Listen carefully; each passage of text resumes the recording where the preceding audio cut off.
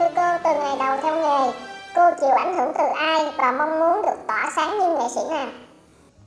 Từ nhỏ là tôi đã thích và thần tượng nghệ sĩ Thanh Nga của Cải Lương, nghệ sĩ Kim Cương của kịch nói và nghệ sĩ Thẩm Thúy Hằng của điện ảnh. Và tôi muốn trở thành một nghệ sĩ chứ tôi không có nghĩ là sẽ giống ai hay là sẽ như ai như thế nào đó. Câu hỏi số 2, cảm giác của bà trong lần đầu tiên lên sân khấu là gì? Thích thú, hồi hộp, hơi có một chút lo âu. Là tại vì không biết rằng cái chuyện đó nó sẽ như thế nào. Nhưng mà rất là phấn khích. Thưa cô, cô học hỏi luyện tập ra sao trong giai đoạn đầu ạ? cực lực. Tức là thường thường đó là mọi người tập tuần từ 9 giờ cho đến 12 giờ. Thì sau đó là nghỉ. Còn tôi thì là ăn cơm trưa xong rồi thì ở lại đó tập với mọi người và xin được tập từ 1 giờ cho đến 6 giờ chiều Hơn 60 năm theo đuổi nghệ thuật cải lương, khoảnh khắc nào khiến cho cô thấy yêu nghề nhất hay là muốn từ bỏ nhất thưa cô? thật ra là nói 60 năm nhưng mà kể cả thời gian đi học thì chắc rằng tôi hiến dân hiến cho sân khấu thì chắc có lẽ là khoảng chừng trên dưới 30 năm nếu mà cộng lại những tháng ngày đó. Và kể cả những lúc mà có thể nói là cái hoàn cảnh và theo như mọi người thấy là khó nhất đi nữa thì tôi cũng không dám nói tới hai từ bỏ nghề. Và tôi ngày đầu tiên tôi nói với tổ là tôi thưa với tổ là tổ ơi tổ chấp nhận con và khi nào tổ không chấp nhận con nữa thì con sẽ thôi chứ con không bao giờ dám nói bỏ nghề. Tại con thích cái nghề này lắm. Thưa cô, trong một cuộc phỏng vấn gần đây, cô từng nói cô đã tự tử hết đến 3 lần. Và thưa cô có thể chia sẻ kỹ hơn về điều này được không ạ? ba lần tự tử đều không phải là điều tôi thất vọng về mình. Tôi cũng không có nỗi buồn nào để đến đổi phải từ chối cuộc sống. Nhưng mà ngay từ nhỏ khi mẹ tôi mất là tôi đã không muốn sống nữa rồi. Và từ đó tôi cảm thấy rằng đời sống nó phi bồng quá. Tức là cái chết với cái sống nó con người ta không quyết định được và nếu như vậy thì sống để làm gì? Và sống mỗi ngày đó, thì mình vẫn ăn thức ăn mới. Nhưng mà tế bào mình mỗi ngày vẫn già. Tức là tôi cảm thấy, cảm, có thể nói là cảm thấy cả cái sự vô lý của kiếp người. Nhưng mà không phải vì lý do đó mà tôi không thích sống. Mà tôi phát hiện cái thế giới này, người mạnh ăn hiếp người yếu. Và người lọc lừa đó ăn hiếp những kẻ ngu xuẩn và tôi cảm thấy mình bất lực trước những sự bất công đó và tôi không muốn sống trong một cái xã hội như thế. Cả ba lần đều nguyên nhân là như thế. Cô đã làm thế nào để bước qua nỗi đau hôn nhân không trọn vẹn của mình thưa cô? thật ra là tôi không có nỗi đau về hôn nhân không trọn vẹn. Lần đầu tiên khi mình lập gia đình với cầu thủ nổi tiếng phạm quỳnh tâm lan đó là một người đàn ông tốt cực kỳ tốt, không có một cái chỗ nào mà có thể nói rằng, nói anh là là không tốt được. Có thể nói đó là một người đàn ông hoàn toàn là một đại trượng phu. Và chúng tôi xa nhau là chỉ vì cái khuyết điểm của tôi lúc đó, tôi không thể có con. Mà bên anh Tâm Lan, gia đình anh Tâm Lan thì lại là một cái gia đình. Vợ chồng gặp nhau rồi, sinh con đẻ cái và nối dòng nối dõi. Tôi không làm được cái chuyện đó. Cho nên là tôi với anh Tâm Lan chia xa trong một cái sự nuối tiếc và vẫn tiếp tục thương yêu nhau cho đến ngày mất. Bằng cớ là sau đó anh Tâm Lan lập gia đình với một người khác và có một đứa con với bạn đó. Và ba tháng trước khi mất đó thì anh Tâm Lan nói xin phép, là nói xin thăm tôi, bởi vì gặp tôi một lần rồi chết. Và cái người cháu nói với tôi như thế, và tôi nghĩ rằng người già hết trơn rồi, thì gặp nhau cũng không có sao là bởi vì từ khi mà quyết định xa nhau đó là tôi trốn mất luôn. Tức là những chỗ nào mà có anh thì là tôi tránh đi chỗ khác để cho gia đình anh được bình yên. Bởi vì tôi quá nổi tiếng, mà lúc nào tivi rồi tin tức này kia, mà như vậy đó, nếu mà nghe được hoài thì sợ rằng gia đình anh không có được hạnh phúc. Cho nên đó là đó là cái lần gặp đầu tiên sau khi hai đứa thôi nhau, và cũng là lần gặp cuối cùng sau đó 3 tháng thì tôi nghe tin anh mất cho nên là không có hối hận và cũng không có đau khổ gì hết. Nghệ sĩ Bạch Tuyết của những năm đôi mươi, ba mươi khác gì với nghệ sĩ Bạch Tuyết ở tuổi 78 cả về quan điểm làm nghề lẫn lối sống thưa cô? không có khác gì hết. Tức là trẻ người non dại nông nổi nói cái điều mình muốn nói và đôi khi cái nói đó nó quá chân thật nó làm cho người khác buồn. Và nếu như có một cái sự ân hận thì tôi nghĩ rằng sau này khi lớn lên thì tôi sẽ không như thế đó nữa. Nhưng mà nói như là một cái bản tính cha sinh mẹ đẻ thấy cái gì không đúng thì cũng đôi khi phải nói và khiến cho người khác bực mình. Mà tôi nghĩ rằng con người mình cái lỗi đi như thế đó mà mình vẫn không sửa được thì mình có khả năng nào mình có tư cách gì để mình sửa cái thế giới này? Và chính vì lẽ đó cho nên tôi thấy rằng tất cả mọi người đều tốt hơn tôi. Thưa cô cuộc sống hiện tại của cô như thế nào ạ? Bình thường lúc nào tôi cũng bình thường. Là bởi vì tôi chưa bao giờ nghĩ mình là người nổi tiếng, phải sống như thế này hay là phải ăn xài như thế kia, hay là phải sắm sửa như thế nọ. Tôi là cái người đào hát mà không có sơn móng tay, không có sơn móng chân, không có đi làm móng. Chỉ khi nào tôi đóng vai công chúa thì tôi sơn, và sau khi giảng hát rồi thì tôi chùi. Bởi vì tôi đã học thiền từ lâu, và tôi không muốn cho tất cả những cái cơ thể của tôi đó nó bị bịch lại bởi bất cứ lý do gì. Tôi muốn sống tự nhiên giống như là trời đất.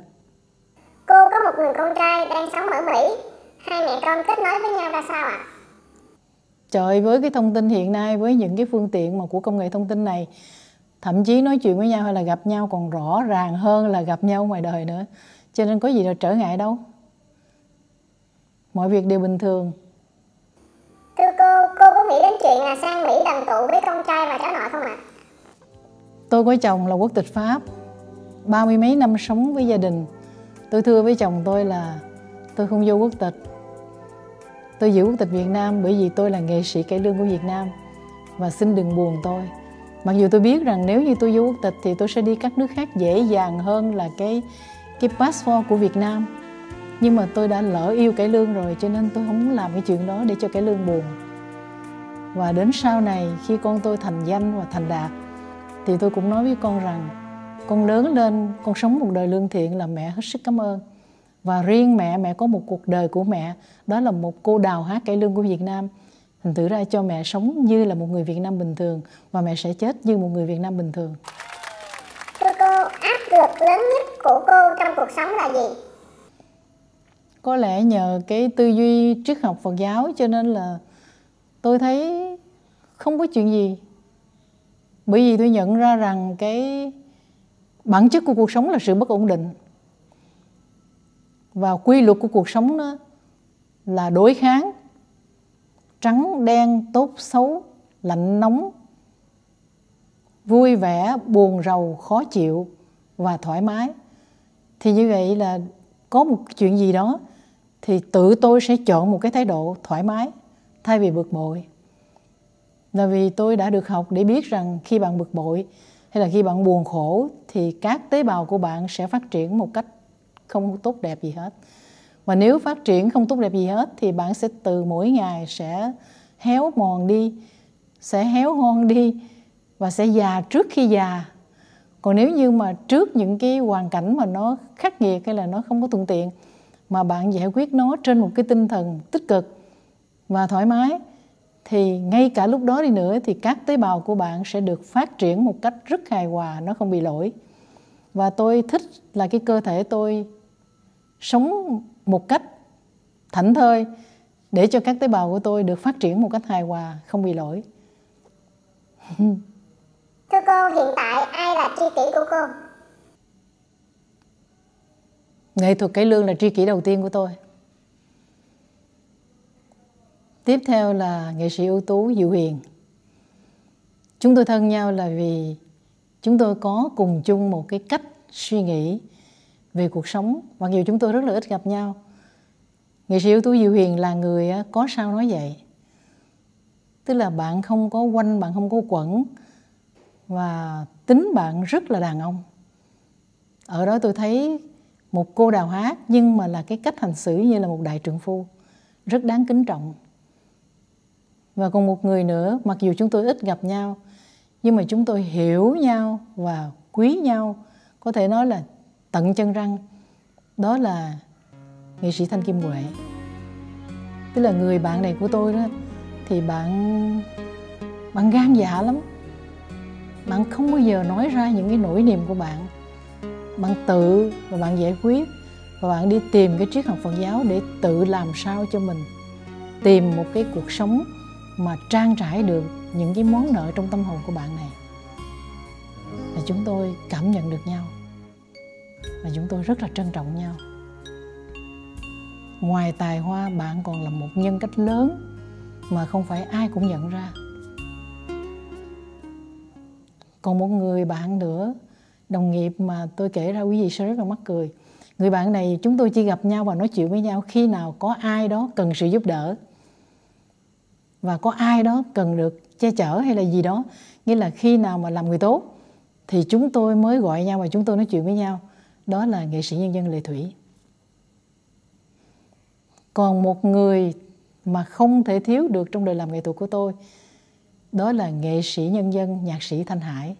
Đấy.